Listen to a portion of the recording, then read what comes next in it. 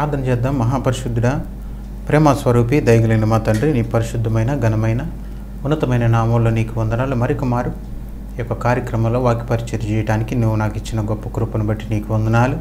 వింటున్న బిడ్డల మీద నీ పరిశుద్ధ ఆత్మశక్తిని కురమరించి నాతో మాతో మాట్లాడి నీ వాక్య సత్యలేఖనముల ద్వారా నన్ను మమ్మల్ని విజీవింపజేసి నీ వాక్యం చేత భూలోకంలో ఎలా జీవించాలో మాకు వాక్యానుసారమైన జీవితాన్ని జీవించే కృపను నాకు మాకు దయచేయమని ఎలాంటి చీకటి శక్తులు కానీ దురాత్మల సమూహము కానీ వాక్యాన్ని ఎత్తుకుని వెళ్ళిపోకుండా నీ యొక్క కృప మహదైశ్వర్యంతో నింపమని యేసుక్రీస్తు వారి యొక్క ఉన్నతమైన ఘనమైన నామాలు ఈ ప్రార్థన సమర్పిస్తూ ఉన్నాను తండ్రి. ఆమె అంశము దైవ చిత్తము చేయుట వలన వచ్చు ఆశీర్వాదములు అనే సుదీర్ఘమైన అంశాన్ని నేను మీ ముందు పెడుతూ ఉన్నాను. దైవ చిత్తము చేయుట వలన మనకు వచ్చే ఆశీర్వాదములు. దైవ చిత్తం అనగా దేవుని ఇష్టము దేవునికి ఇష్టమైన చేయటం వలన దేవుని యొక్క చిత్తము మనకి చాలా కష్టముగా ఉంటుందనే విషయాన్ని కూడా నేను మీకు తెలియజేస్తూ ఉన్నాను. దైవ చిత్తము చేయటం వలన మనకు వచ్చు ఆశీర్వాదములనే. దైవ చిత్తము చేయటం వలన మనకు వచ్చు ఆశీర్వాదములు. ఏడు విషయాలు నేను మీకు తెలియజేస్తూ ఉన్నాను. దైవ చిత్తము చేయుట వలన వచ్చు ఆశీర్వాదములనే సుదీర్ఘమైన అంశాన్ని నేను మీ ముందు పెడుతూ ఉన్నాను. మార్కు సువార్త పద్నాలుగవ అధ్యాయము ముప్పై ఆరో వచనములు చూసినట్లయితే యేసుక్రీస్తు వారు తండ్రి అయిన యహోవా దేవునికి చేసిన ప్రార్థన గిత్సమని తోటలో యేసుక్రీస్తు వారు చేసిన ప్రార్థన నేను మీకు తెలియజేస్తూ ఉన్నాను. యేసుక్రీస్తు వారు గిత్సమని తోటలో చేసిన ప్రార్థన దైవ చిత్తము చేయటం వలన వచ్చు ఆశీర్వాదములనే సుదీర్ఘమైన అంశాన్ని నేను మీ ముందు పెడుతూ ఉన్నాను. రిఫరెన్స్ చదువుదాం. మార్కు సువార్త పద్నాలుగవ అధ్యాయము ముప్పై ఆరవ వచనం. నాయనా తండ్రి నీకు సమస్తము సాధ్యము. ఈ గిన్నె నా యొద్ద నుండి తొలగించము. అయినను నా ఇష్ట ప్రకారము కాదు నీ చిత్త ప్రకారమే కానిమ్ము అని నాయనా తండ్రి నీకు సమస్తము సాధ్యము. ఈ గిన్నె నా యొద్ద నుండి తొలగించము. అయినను నా ఇష్ట ప్రకారము కాదు నీ చిత్త ప్రకారమే కానిమ్ము అని యేసుక్రీస్తు వారికి గెచ్చమని తోటలో ఆయనకి ఫ్యూచర్ తెలుసు కాబట్టి రేపు ఆయన సిలువ వేస్తారు మేకులతో కొడతారు. పక్కలో బళ్ళెపు పోటు పొడుస్తారు. తలపై ముళ్ళ కిరీటం పెడతారు కొరడా దెబ్బలు కొడతారు. అన్నీ తెలుసు కాబట్టి ఆయన మనుషుడు మాత్రమే కాదు ఆయన మనుషుడు దేవుడు కూడా కలిసి ఉన్నారు కాబట్టి యేసుక్రీస్తు అనే పదం యేసు అనగా మానవునికి ఇవ్వబడిన పేరు క్రీస్తు అనగా దైవత్వపు పేరు అన్న విషయాన్ని కూడా నేను మీకు తెలియజేస్తూ ఉన్నాను. కాబట్టి యేసుక్రీస్తు వారికి రేపేం జరుగుతుందో ఆయనకు తెలుసు కాబట్టి తండ్రి అయిన యహోవ దేవుడికి చేసిన ప్రార్థన ఏమని చేస్తున్నారంటే నాయనా తండ్రి నీకు సమస్తము సాధ్యము. ఈ గిన్నె నా యొద్ద నుండి తొలగించము ఈ శిలువ శ్రమను శిలువ మరణమును నా యొద్ద నుంచి తొలగించము. అయినను నా ఇష్ట ప్రకారము కాదు నీ చిత్త ప్రకారమే కానిమ్ము అని యేసుక్రీస్తు వారు గెచ్చమని తోటలో చేసిన ప్రార్థన ఆయన తన చిత్తమును వదిలివేసుకొనెను. యేసుక్రీస్తు వారు తన చిత్తాన్ని వదిలివేశారు. ఒకవేళ మేకులు కొడుతూ ఉన్నప్పుడు నొప్పి ఒకవేళ భరించలేకపోతానేమో ఒకవేళ ముళ్ళ కిరీటం పెట్టినప్పుడు నేను ఓర్చుకోలేకపోతానేమో అని భయపడి యేసుక్రీస్తు వారు గెచ్చమనే తోటలో చేసిన ప్రార్థన యేసుక్రీస్తు వారు తన చిత్తాన్ని వదిలివేసుకొని తండ్రి చిత్తం చేయడానికి పూనుకొనినట్లుగా ఈ యొక్క ప్రార్థనలో మనం నేర్చుకుంటూ ఉన్నాం. గెచ్చమనే తోటలో ఆయన చెమట రక్తపు బిందువులలాగా పడినదన్న విషయాన్ని కూడా నేను మీకు తెలియజేస్తాను. చివరిగా ఏమంటున్నారంటే నీ చిత్త ప్రకారమే కానిమ్మని స్వయాన యేసుక్రీస్తు వారు కుమారుడైన యేసుక్రీస్తు వారు తండ్రి అయిన యహోవా దేవుడికి చేసిన ప్రార్థనలో నీ చిత్త ప్రకారమే కానిమ్మనే మాట సంబోధిస్తూ ఉన్నారనే విషయాన్ని నేను మీకు జ్ఞాపకం చేస్తూ ఉన్నాను. మనము కూడా అనేకమైన కోరికలు మన మన అనేకమైన తలంపులు దేవునికి మనం తెలియజేస్తూ ఉంటాం. మీ కోరికను దేవునికి తెలియజేయటం తప్పు కాదు.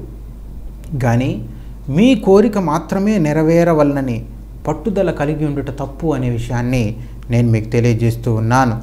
మన యొక్క కోరికను దేవునికి తెలియజేయటం తప్పు కాదు కానీ మన యొక్క కోరిక మాత్రమే నెరవేరాలని పట్టుదల కలిగి ఉండుట తప్పు అనే విషయాన్ని నేను మీకు తెలియజేస్తూ ఉన్నాను. ప్రభువా మా కోరికలు ఇయ్యయా మా తలంపులు ఇవి మేము ఇవాళ చేయాలనుకుంటున్నాం. నీ చిత్తమైతే వీటన్నిటినీ నెరవేర్చమని మనం ప్రార్థన చేయాలి. ఆయనను మనం సంపూర్ణమైన చిత్తానికి మనం ఆయనకు సమర్పించుకోవాలి. ఆయన చిత్తానికి మనం ఒబే అవ్వాలని ప్రభుపేట నేను మీకు మనవి చేస్తూ ఉన్నాను.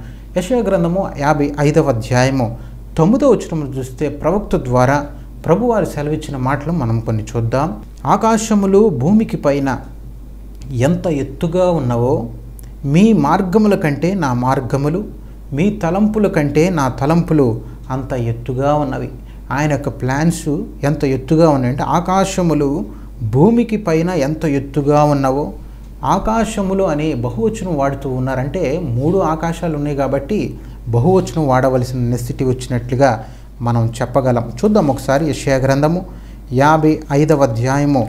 తొమ్మిదవ వచనంలో చూస్తే ఆకాశములు ఆకాశములని బహువచనం వాడుతూ ఉన్నారు. ఒకటే ఆకాశం అని మనం అనుకుంటాం కానీ మొదటి ఆకాశము మధ్య ఆకాశము మూడో ఆకాశం.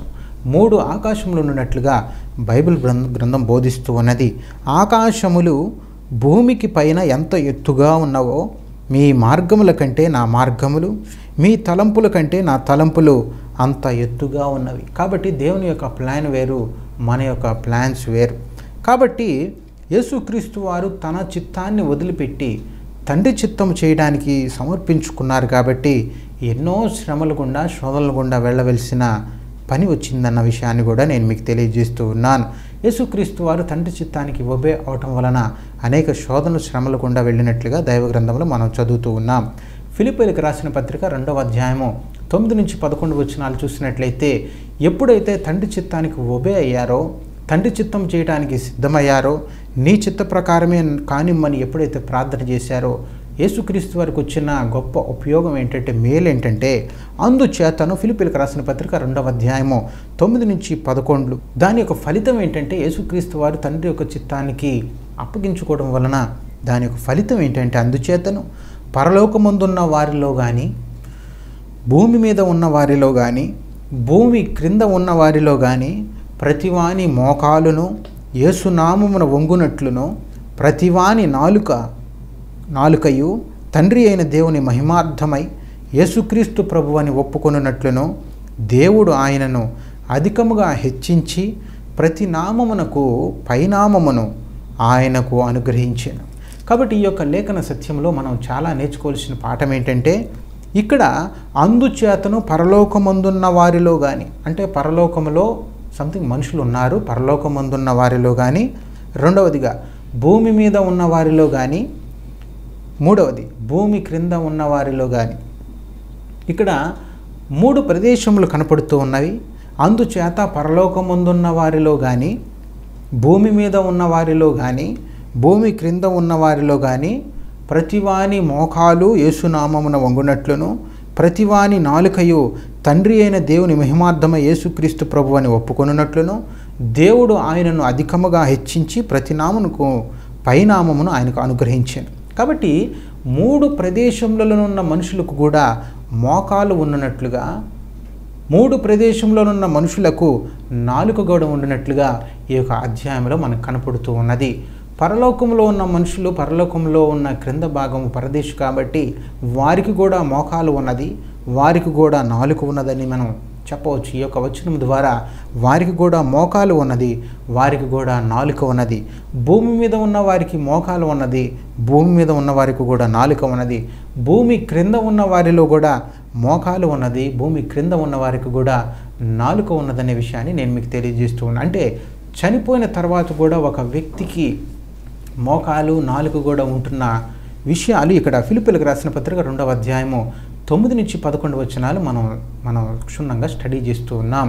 ఎందుకంటే ఆత్మను విడిచిన శరీరం విడిచిన ఆత్మకు వెంటనే పునరుద్ధాన శరీరం రాదు. రెండవ రాకడలో మాత్రమే పునరుద్ధాన శరీరాలు వస్తువు కాబట్టి ముందుగా ఒక మధ్యస్థ శరీరాన్ని ఏర్పాటు చేసి సేమ్ ఇదే ఇలాంటి భౌతికమైన శరీరం లాగానే ఉండి దేవుడు మనల్ని కొనిపోతాడనే విషయాన్ని కూడా నేను మీకు తెలియజేస్తూ ఉన్నాను. వెంటనే వచ్చిన ఆత్మకు వచ్చిన మధ్యస్థ శరీరానికి భౌతికమైన శరీరం ధరించిన వారు ఆ మధ్యస్థ శరీరాన్ని చూడలేరు కానీ చనిపోయిన వారు ఆత్మ బయటకు వచ్చిన తర్వాత వారికి వచ్చిన శరీరంతో మనలను చూస్తారన్న విషయాన్ని కూడా నేను మీకు తెలియజేస్తూ ఉన్నాను. కాబట్టి పరలోకమందున్న వారిలో అంటే పరలోకంలో కొంతమంది ఉన్నారు భూమి మీద ఉన్న వారిలో కానీ భూమి మీద కూడా మనలాంటి వాళ్ళు చాలామంది జీవిస్తూ ఉన్నారు. భూమి కింద ఉన్న వారిలో కానంటే పాతాళంలో ఉన్నవారి కూడా ప్రతివాని మోకాలు ఏసునామును వంగునట్లును ప్రతివాని నాలుకయు. తండ్రి అయిన దేవుని మహిమార్థమై యేసుక్రీస్తు ప్రభువని ఒప్పుకొనున్నట్లును దేవుడు ఆయనను అధికముగా హెచ్చించి ప్రతి నామమునకు పైనామమును ఆయనకు అనుగ్రహించాను. కాబట్టి యేసుక్రీస్తు వారు దైవ చిత్తానికి ఎప్పుడైతే అప్పగించుకున్నారో ఆయన నామం పైనామముగా దేవుడు చేసి ప్రతి వాని నాలుకకు తండ్రి అయిన దేవుని మహిమార్థమై యేసుక్రీస్తు ప్రభు వారిని క్రీస్తు యేసుక్రీస్తును ప్రభువుగా ఒప్పుకొనినట్లుగా దైవ గ్రంథమును మనం చూస్తూ ఉన్నాం. కాబట్టి దైవ చిత్తమును చేయటానికి మనం పూనుకున్నప్పుడు చాలా శ్రమలు వస్తాయన్న విషయాన్ని కూడా నేను మీకు తెలియజేస్తూ ఉన్నాను. కానీ ఆ శ్రమలంట మన శ్రమలు మన ఎడల ప్రత్యక్షము కాబో మహిమ ఎదుట ఇప్పటి కాలపు శ్రమలు ఎనదగినవి కావనే విషయాన్ని నేను మీకు తెలియజేస్తూ ఉన్నాను. ఈ ఎనభై సంవత్సరాలు తొంభై సంవత్సరాలు వంద సంవత్సరాలు జీవించినప్పుడు దేవుని చిత్తము చేయకుండా పరలోక రాజ్యానికి వెళ్ళలేకపోతే కొన్ని కోటాను కోట్ల సంవత్సరాలు పరదేశిలో మనం నిత్యకాలము యేసుక్రీస్తు వారితో పాటు సంతోషముగా జీవించే తరుణాన్ని కోల్పోతూ ఉన్నామనే విషయాన్ని నేను మీకు తెలియజేస్తూ ఉన్నాను. కాబట్టి మన ఎడల ప్రత్యక్షము కాబో మహిమ ఎదుట అన్ని కోట్ల సంవత్సరాలు యేసుక్రీస్తుతో ఆనందించే సమయం మనం చూసుకుంటే ఇప్పటి కాలపు శ్రమలు ఈ భూలోకంలో మనం పడే శ్రమలు ఎన్నదగినవి కాదని ప్రభు పేట ప్రభువారు అపస్తుడైన పౌలు ద్వారా పరిశుద్ధాత్ముడు ద్వారా- ద్వారా రాయించిన సందర్భము రోమిలకు రాసిన పత్రిక ఎనిమిదవ అధ్యాయము పద్దెనిమిదవ వచనంలో దేవుడు మనకు తెలియజేస్తూ ఉన్నారు. కాబట్టి క్రీస్తును సంతోషపెట్టు మార్గం ఒకటి కలదు. ఆయనకి ఇష్టానుసారుడుగా ఆయన చిత్తము చేయుటయే ఆయన యొక్క మార్గమని ప్రభుపేట మనవి చేస్తూ ఉన్నాను. కాబట్టి ప్రేమ కలిగిన తండ్రి పరమ తండ్రి మీ మన ఎడల ఖచ్చితమైన ఉద్దేశము గలవాడై ఉన్నాడని ప్రభుపేట నేను మీకు మనవి చేస్తూ ఉన్నాను. ప్రతి ఒక్క బిడ్డను భూలోకంలోకి జీవించినప్పుడు జీవింపజేసినప్పుడు బ్రతికించినప్పుడు పుట్టించినప్పుడు దేవుడు ఆ బిడ్డ యొక్క పేరు ఆ బిడ్డ యొక్క వయస్సు ఆ బిడ్డ చేయవలసిన పనులు కూడా ముందుగానే రాయించి జీవగ్రంథంలో రాయించి క్రిందకు పంపిస్తూ ఉన్నట్లుగా మనం చే మన దైవ గ్రంథంలో మనం చదువుతూ ఉన్నాం. కాబట్టి మనం దేని నిమిత్తమై మనం కిందకు వచ్చామో ఆ పనులన్నీ చేసి దేవుని చిత్తము చేయాలని ప్రభుపేట నేను మీకు మనవి చేస్తూ ఉన్నాను. అంశంలోనికి మనం వెళదాం. దైవ చిత్తము చేయటం వలన వచ్చు ఆశీర్వాదములు ఏంటి? అయా నేను దైవ చిత్తం చేస్తున్నాను నాకు ఏం ఆశీర్వాదములు వస్తుంది దైవ చిత్తము దేవుని చిత్తము చాలా మనం చేయడానికి చాలా కష్టముగా ఉంటుంది. దైవ చిత్తము చేయుచుండగా మనకొచ్చే ఆశీర్వాదములు ఏంటో ఏడు ఆశీర్వాదముల గురించి నేను మీకు తెలియజేస్తాను. మొట్టమొదటిగా మూడు ఆశీర్వాదములు పార్ట్ వన్ మెసేజ్లో నేను మీకు తెలియజేస్తూ ఉన్నాను. దైవ చిత్తము చేయుట వలన వచ్చు ఆశీర్వాదముల గురించి మనం ధ్యానం చేస్తూ ఉన్నాం. స్వయాన దైవకుమారుడైన యేసుక్రీస్తు వారే దైవ చిత్తము చేస్తూ ఉంటే మనము కూడా భూలోకంలో దైవ చిత్తము చేయవలసిన వారమై ఉన్నామని ప్రభుపేట నేను మీకు మనవి చేస్తూ ఉన్నాను. దైవ చిత్తము చేయుట వలన వచ్చే మొట్టమొదటి ఆశీర్వాదం ఏంటంటే మనము దేవుని కుటుంబ సభ్యుల అంటే ముందుగా మొట్టమొదటి ఆశీర్వాదం ఏంటంటే దైవ చిత్తము చేయటం వలన మనకు వచ్చే మొట్టమొదటి ఆశీర్వాదము మార్కు సువార్త మూడవ అధ్యాయము ముప్పై ఐదవ వచనం. ముప్పై ఒకటి నుంచి చదువుదాం. ఆయన సహోదరులను తల్లియు వచ్చి వెలుపల నిలిచి ఆయనను పిలువనంపిరి. జనులు గుంపుగా ఆయన చుట్టూ కూర్చుండిరి. వారు ఇదిగో నీ తల్లియు నీ సహోదరులను వెలుపల నుండి నీ కోసరము వెతుకుచున్నారని ఆయనతో చెప్పగా ఆయన నా తల్లి నా సహోదరులు ఎవరని తన చుట్టూ కూర్చున్న వారిని కలయిజూచి ఇదిగో నా తల్లియు నా సహోదరులను దేవుని చిత్తము చొప్పున జరిగించేవాడే నా సహోదరుడును సహోదరియు తల్లియు అనేను. తండ్రి అనే మాట మాట్లాడడం లేదు కానీ తల్లి సహోదరుడు సహోదరియు బ్రదర్ సిస్టర్ అండ్ మదర్ అని పిలుస్తూ ఉన్నారు. కాబట్టి దేవుని చిత్తము చేయటం వలన వచ్చే మొట్టమొదటి ఆశీర్వాదం ఏంటంటే మనము దేవుని కుటుంబ సభ్యులం అవుచు ఉన్నాం. దేవుని కుటుంబ సభ్యులం అయితే సపోజ్ మన యొక్క తండ్రి మన యొక్క అవసరతలు తీర్చడానికి సిద్ధంగా ఉంటారు మన యొక్క తల్లి కూడా మన యొక్క అవసరతలు మన యొక్క అక్కర్లు తీర్చడానికి సిద్ధంగా ఉంటారు మన యొక్క బ్రదర్ కానీ మన యొక్క సిస్టర్ కానీ ఎవరైనా సరే మనం దేవుని కుటుంబ ఒకే కుటుంబం కలిగిన వారు ఉంటే ఏదైనా సరే మనం వాళ్ళు చేయడానికి సిద్ధంగా ఉంటారు. దైవ చిత్తము చేయటం వలన వచ్చే మొట్టమొదటి ఆశీర్వాదం ఏంటంటే మనము దేవుని యొక్క కుటుంబ సభ్యుల మగుచున్నామనే విషయాన్ని నేను మీకు మరి ఒక మరో ఆ రిఫరెన్స్ కూడా నేను మీకు తెలియజేస్తూ ఉన్నాను. మార్కు సువార్త మూడవ అధ్యాయం ముప్పై ముప్పై ఐదవ వచ్చిన దేవుని చిత్తము చొప్పున జరిగించువాడే నా సహోదరుడును అంటే బ్రదర్ అనమాట నా సహోదరియు సిస్టర్ నా యొక్క తల్లియు మదర్ అని యేసుక్రీస్తు వారు సంబోధిస్తూ ఉన్నారు. నా తల్లి ఎవరు? నా సహోదరులు ఎవరు? దేవుని చిత్తము చొప్పున చేయువాడే నా సహోదరుడు. దేవుని చిత్తము చొప్పున చేయువాడే నా సహోదరి. దేవుని చిత్త ప్రకారము చేయువాడే నా తల్లని యేసుక్రీస్తు వారు ఖరాఖండిగా చెప్పినట్లుగా దైవ గ్రంథములు మనం చదువుతూ ఉన్నాం. క్రీస్తు యొక్క కుటుంబము లోకానుసారమైనది కాదు కానీ ఆయన కుటుంబము ఆత్మ సంబంధమైన ని- ఆయన ని- అది నిత్య కుటుంబము. అందువలన సంఘంను గుర్చి అపోసుడైన పౌలు గారు హెబ్రిలు సంఘానికి రాస్తూ మూడవ అధ్యాయం ఆరో వచనంలో ఏం తెలియజేస్తూ ఉన్నారంటే మనమే ఆయన యొక్క ఇల్లు అని సంబోధిస్తూ ఉన్నారన్న విషయాన్ని నేను మీకు తెలియజేస్తూ ఉన్నాను. లోకమంతా చెదిరిపోయి ఉన్నారు లోకమంతా చెదిరియుండినను. దేవుని చిత్తమును చేయి పరిశుద్ధులందరితో కూడా మనము ఒక ఇంటి వారమై ఉన్నామని ప్రభుపేట నేను మీకు మనవి చేస్తూ ఉన్నాను. ఆ దేవాతి దేవుడు దైవ కుమారుడే తగ్గించుకొని మనలను సహోదరులుగా సహోదరులుగా అంగీకరించుట గొప్ప ధన్యత అనే విషయాన్ని కూడా నేను మీకు తెలియజేస్తున్నాను. స్వయాన యేసుక్రీస్తు వారే తండ్రి చిత్తం చేసేవారే. నా సహోదరు నా యొక్క బ్రదర్ నా యొక్క సిస్టర్ నా యొక్క మదర్ అని పిలుస్తూ ఉంటే ఎంత గొప్ప విశేషమైన అనుభూతో మనం ఒకసారి మనకి జ్ఞాపకం చేయబడుతూ ఉన్నది. కాబట్టంట యేసుక్రీస్తు వారు ఆయన పరిశుద్ధాత్ముడు అపోసుడైన పౌలు గారి ద్వారా రాయించిన హెబ్రిల్కు రాసిన పత్రిక రెండవ అధ్యాయము పదకొండవ వచనములో ఈ హేతువు చేత వారిని సహోదరులని పిలుచుటకు ఆయన సిగ్గుపడలేదు. హెబ్రిల్కు రాసిన పత్రిక పదకొండవ అధ్యాయం పదహారు వచనంలో చూస్తే అందుచేత తాను వారి దేవుడునని అనిపించుకొనుటకు దేవుడు వారిని గుచ్చి సిగ్గుపడాడు. కాబట్టి స్వయాన యేసుక్రీస్తు వారు కూడా మనల్ని సహోదరుడు మనల్ని సహోదరి మనల్ని తల్లి అని పిలుస్తున్నారంటే మనము దేవుని చిత్తం చేయటం వల్ల మనకు వచ్చే మొట్టమొదటి ఆశీర్వాదం ఏంటంటే మనము దేవుని కుటుంబ సభ్యులు మగుచు ఉన్నాం. పరలోకమందున్న దేవుని తండ్రి అని హోవ దేవుని చిత్తము చేయుచుండగా పరలోకమందును భూమి మీద కూడా మనము ఆయన కుటుంబ సభ్యులు మగుచున్నామనే విషయాన్ని నేను మీకు తెలియజేస్తూ ఉన్నాను. మన కుటుంబమునకు యజమానుడు యేసుక్రీస్తు వారు ఆయన మనలను సొంత సహోదరుని వలె సహోదరి వలె చేర్చుకొనుచున్నాడు. ఆయన మనకు అన్నయ్యలాగా ఉంటూ తన విలువైన రక్తమును మన కొరకు చిందించారన్న విషయాన్ని కూడా నేను మీకు బైబిల్ ద్వారా నేను మీకు తెలియజేస్తూ ఉన్నాను. యేసుక్రీస్తు వారు జీవించిన ముప్పై మూడున్నర సంవత్సరాల్లో వేలాది మంది స్వస్థతలు పొందుకున్నారు వేలాది మంది మేలులు పొందుకున్నారు వేలాది మంది ఆయనను వెంబడించారు చాలామంది రొట్టెలు తిన్నారు చాలామంది చేపలు తిన్నారు చాలామంది రొట్టెలు చేపలు భుజించారు. కానీ పరలోకమందున తండ్రి చిత్తము చొప్పున చేసిన ఒక చిన్న గుంపు వైపు తన చేతులు చాపి ఏమంటున్నారంటే వీరే నా తల్లి వీరే నా సహోదరులని యేసుక్రీస్తు వారు ప్రకటిస్తూ ఉన్నారనే విషయాన్ని కూడా నేను మీకు తెలియజేస్తున్నాను మత సువార్త పన్నెండవ అధ్యాయము నలభై తొమ్మిదవ వచనంలో చూసినట్లయితే చిన్న గుంపును చూపించి తన శిష్యుల వైపు చెయ్యి చాపి ఇదిగో నా తల్లియు నా సహోదరులను పరలోకమందున్న నా తండ్రి చిత్తము చొప్పున చేయువాడే నా సహోదరుడును నా సహోదరుడియు సహోదరియు నా తల్లియు అని రెండు రిఫరెన్స్లు నేను మీకు జ్ఞాపకం చేశాను. దైవ చిత్తము చేయుట వలన వచ్చు ఆశీర్వాదం. మొట్టమొదటి ఆశీర్వాదం ఏంటంటే మనము దేవుని కుటుంబ సభ్యుల మగుచు ఉన్నాం. దేవుని చిత్తము చేయుచుండగా మనం దేవుని యొక్క కుటుంబంలోనికి వస్తూ ఉన్నాం కాబట్టి మనకి ఆయన మనకు అనేక మంది హెల్ప్ చేయడానికి మన యొక్క శోధనల శ్రమల్లో కూడా ఆయనే పాలిభాగస్తులై ఉంటున్నారనే విషయాన్ని కూడా నేను మీకు తెలియజేస్తూ ఉన్నాను. కాబట్టి మనం కూడా దైవ చిత్తము చేయుట నేర్చుకోవాలి. దేవునికి ఇష్టమైనదా కాదా? పలానా కార్యం చేస్తూ ఉన్నప్పుడు ఇది దేవునికి ఇష్టమైన కార్యమా? లేకపోతే దేవునికి కోపం తెప్పించే కార్యమని మనం ఒకసారి పరిశీలన చేసుకొని వాక్యానుసారంగా మనం ముందుకు సాగాలని ప్రభుపేట మనవి చేస్తూ ఉన్నాను.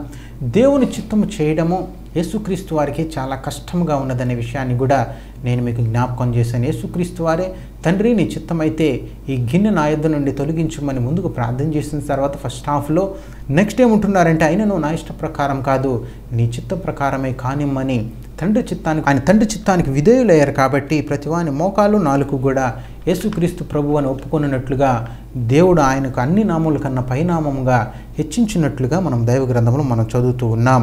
దైవ చిత్తము చేయటం వలన వచ్చు మొట్టమొదటి ఆశీర్వాదం ఏంటంటే వింటున్న బిడ్డలు కూడా కార్యక్రమాన్ని చూస్తున్న బిడ్డలు కూడా మీకు వచ్చు ఆశీర్వాదం ఏంటంటే దేవుని ఇష్టము చేయటం దేవుని యొక్క చిత్తము చేయటం వలన మీకు వచ్చు ఆశీర్వాదం ఏంటంటే మొట్టమొదటిగా మీరందరూ మనమందరం కూడా దేవుని కుటుంబ సభ్యుల మగుచును ఉన్నాం సపోజ్ మనం అందరం కూడా ఆయన యొక్క అవయవములుగా మనం ఉంటున్నాము.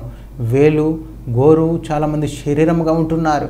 ఏది అపాయం వచ్చినా దేనికి శోధన వచ్చినా శరీరం మొత్తం కూడా శ్రమ పడుతుంది కాబట్టి మనందరం కూడా ఆయన యొక్క అవయవములుగా మనమే ఆయన ఇల్లుగా మనం దేవుని కుటుంబ సభ్యులం అనే విషయాన్ని కూడా నేను మీకు జ్ఞాపకం చేస్తూ ఉన్నాను. కాబట్టి దైవ చిత్తము చేయటం వలన వచ్చు మొట్టమొదటి ఆశీర్వాదం ఏంటంటే మనం దేవుని కుటుంబ సభ్యులం అగుచూ ఉన్నాము. రెండవ ఆశీర్వాదం నేను మీకు తెలియజేస్తూ ఉన్నాను. దేవుని చిత్తము చేయుచుండగా ప్రభువారు మన మనవి ఆలకించు. యుహాన్ సువార్త తొమ్మిదవ అధ్యాయము ముప్పై ఒకటో వచ్చిన చూసినట్లయితే పుట్టు గ్రుడ్డివాడు బోధిస్తూ ఉన్నాడు.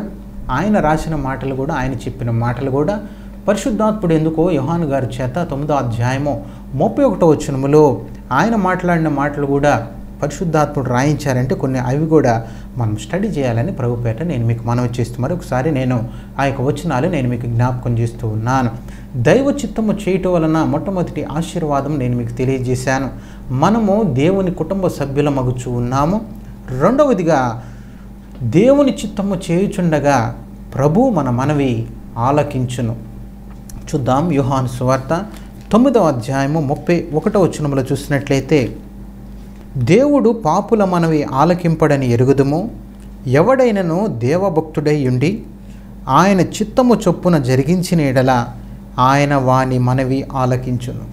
పుట్టుగుడ్డివాడు సద్దుకొయలకు పరిచయులకు వాళ్ళు ప్రశ్నల వర్షము కురిపిస్తూ ఉన్నప్పుడు చూపు పొందిన వ్యక్తి ఘాటుగా ఇచ్చిన జవాబు ఏంటంటే ఎవడైనను దైవభక్తుడై ఉండి ఆయన చిత్తము చొప్పున జరిగించిన ఎడల ఆయన వాని మనవి ఆలకించును. గుడ్డివాడు ఏంటి మాకు చెప్తాడేంటి? పరిశైలు శాస్త్రులు ఎంతో అసూయపడుతూ ఉన్నాడు.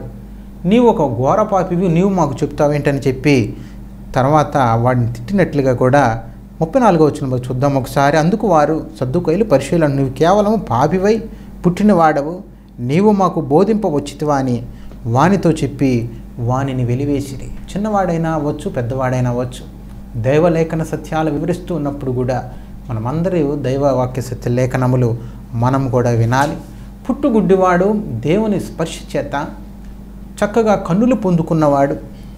చెప్పిన మాటలు ఏంటంటే ఎవడైనను దైవభక్తుడై ఉండి ఆయన చిత్తము చొప్పున జరిగించిన ఎడల ఆయన వాని మనవి ఆలకించును. మనము దైవభక్తుడై ఉండి మనం ప్రార్థన చేస్తే ఆయన వినడట. ఎవడైనను దైవభక్తు దేవభక్తుడై ఉండి ఆయన చిత్తము చొప్పున జరిగించిన ఎడల ఆయనకి ఇష్టము వచ్చినట్లుగా దేవుని యొక్క చిత్తానుసారంగా మనం జీవించిన ఎడల చొప్పున జరిగించిన ఎడల అప్పుడు మన మనవి ఆలకించునని దేవుడు వాగ్దానం చేస్తూ ఉన్నారు. దైవ చిత్తము చేయువారి ప్రతి విన్నపమునకు పరలోకము అవును ఆమెనని జవాబిస్తూ ఉన్నదనే విషయాన్ని నేను చెప్పడానికి సంతోషిస్తూ ఉన్నాను. కాబట్టి దైవ చిత్తము చేయాలని తలంపు కలిగి ఉండటమే గొప్ప భాగ్యం అనే విషయాన్ని కూడా నేను మీకు తెలియజేస్తూ ఉన్నాను. అలాంటి మనసు కూడా కార్యక్రమాన్ని చూస్తున్న బిడ్డలు కూడా మీకు కూడా అట్టి మనసు కావాలని ప్రభుపేట నేను ఎంతో ఆశపడుతూ ఉన్నాను. దైవ చిత్తము చేయువారి ప్రతి విన్నపము కూడా దైవ చిత్తము చేసేవారి ప్రతి విన్నపము కూడా పరలోక రాజ్యము అవును ఆమెనని వెంటనే జవాబిస్తూ ఉన్నదనే సత్యాన్ని కూడా నేను మీకు తెలియజేస్తూ ఉన్నాను. కీర్తన గ్రంథము ఇరవై ఒకటవ అధ్యాయము రెండవ వచనము చూస్తే మొదటి వచనం కూడా నేను చదువుతున్నాను. యహోవా రాజు నీ బలమును బట్టి సంతోషించుచున్నాడు. నీ రక్షణను బట్టి అతడు ఎంతో హర్షించుచున్నాడు. అతని మనోభిష్టము నీవు సఫలము చేయుచున్నావు.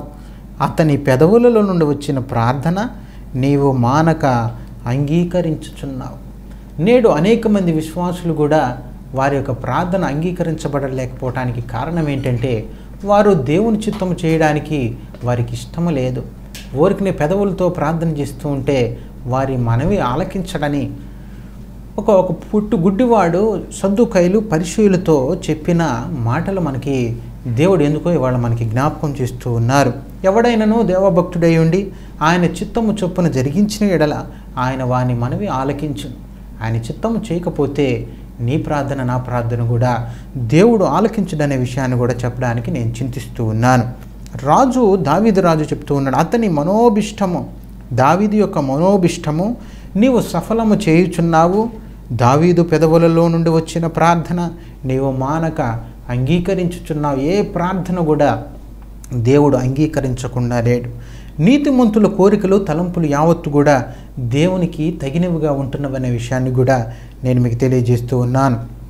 నీతిమంతుల యొక్క తలంపులు న్యాయయుక్తములు కొన్ని తర్జుమాలు చూసినట్లయితే సామెతల గ్రంథము పన్నెండవ అధ్యాయము ఐదవ వచనములు చూసినట్లయితే నీతిమంతుని యొక్క తలంపులే న్యాయయుక్తములంట. అవి ఖచ్చితంగా నీతిమంతుల తలంపులు సరి అయినవిని కొన్ని మూల భాషలో రాయబడినట్లుగా మనం దైవ గ్రంథంలో మనం చదువుతూ ఉన్నాం.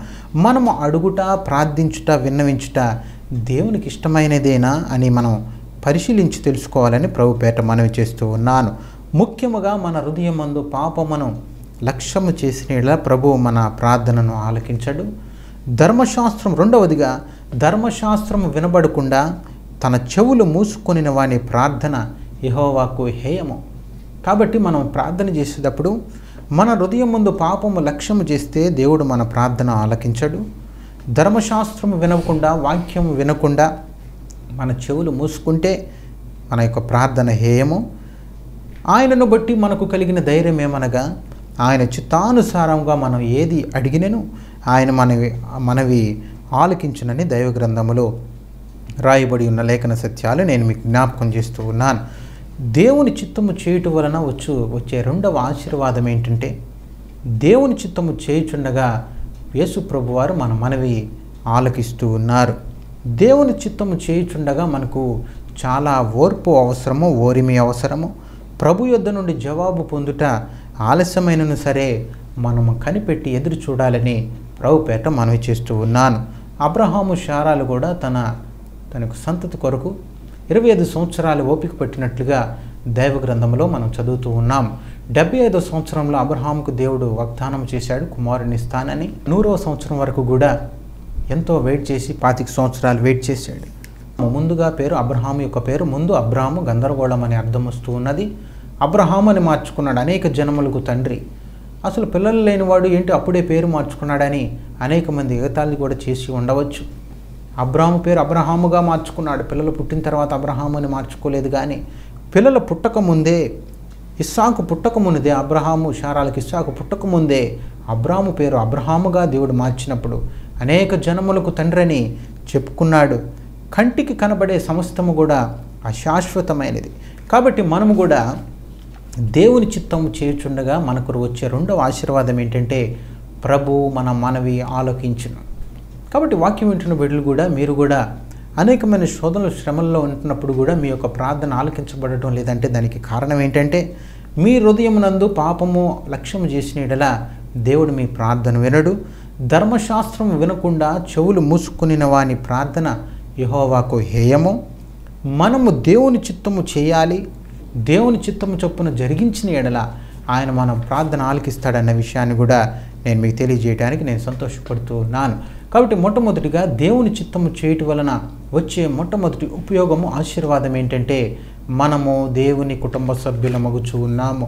మనకు గనుక బాధ వస్తే దేవునికి బాధ వచ్చినట్లే కుటుంబ సభ్యుల్లో ఎవరికి బాధ వచ్చినా సరే దేవునికి వచ్చినట్టే కాబట్టి దేవుడు మనము దేవుని చిత్తము చేయడానికి ఎప్పుడైతే పూనుకున్నామో ఎప్పుడైతే మనము అలాంటి మారు మనసు కలిగి జీవిస్తూ ఉన్నామో దేవుని చిత్తము చేయాలని ఆశ కలిగి ఉన్నామో మనకు వచ్చే మొట్టమొదటి ఆశీర్వాదం ఏంటంటే మనము దేవుని కుటుంబ సభ్యులమగుచున్నాం రెండవదిగా దేవుని చిత్తము చేయుచుండగా ప్రభువు మన మనవి ఆలకిస్తూ ఉన్నారు.